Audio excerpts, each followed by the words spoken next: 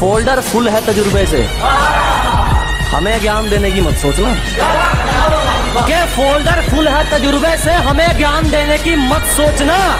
ज़िंदगी जो करेगी, देख लेगी। तुम पंगा लेने की मत सोचना।